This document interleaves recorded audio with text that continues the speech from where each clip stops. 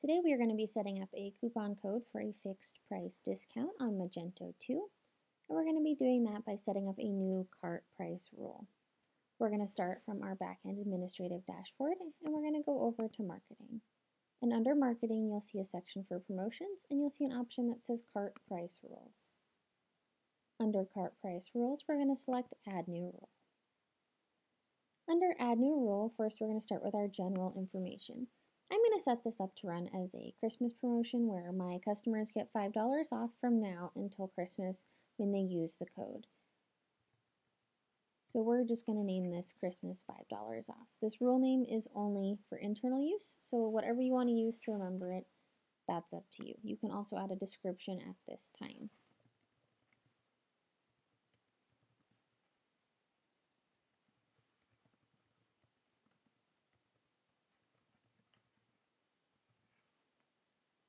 Under status, we want our new rule to be active, and we're going to select whichever websites we want it to be active on.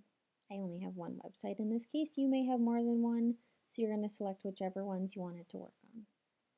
We're also going to select our customer groups. In this case, I want to select all of my customer groups. You may only want to select one. You may want to select a handful. You may want to select all of them. You're going to go ahead and select them at this time. Under where it says coupon, we're going to go ahead and select specific coupon. And you're going to go ahead and type in a coupon code. In this case, I'm going to use Xmas5.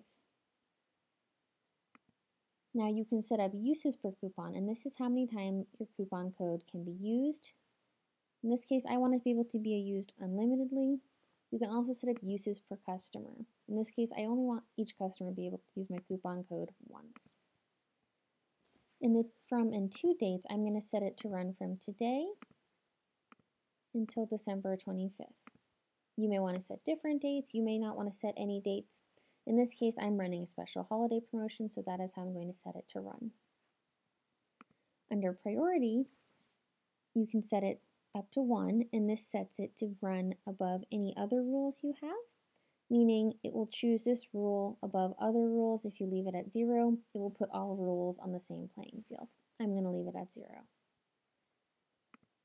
Under conditions, you can set this new promotion to run for certain items.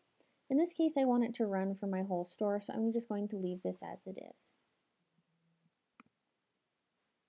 Then we're going to go to actions. This is where we actually set up our pricing structure for our new promotion. So under apply, we're going to set fixed amount discount for a whole cart. And in this case, the discount amount is going to be 5. This means $5 is going to come off the whole cart. You can set any amount you want. It may be $5, it may be $10, however much you want your discount to be. I'm going to leave my maximum quantity discount applied to at 0. This means how many items the discount can apply to. In this case, it can apply to as many items as the customer wants to put in the cart. It's just going to be $5 off. And discount quantity by step does not really apply to this type of discount. Um, that would be more for the buy X get Y free. You can also have it applied to the shipping amount, have it discard any other promotions. We're going to say yes to this one. I don't want them to be able to stack promotions in this case. And if you want to set up free shipping at this time, I'm going to say no to that. And then we're going to go ahead and hit save. So you'll see here we're going to apply our discount code and hit apply discount and then it will show up right up here. Discount code $5 off. And that's how you set up a fixed rate discount code in Magento 2.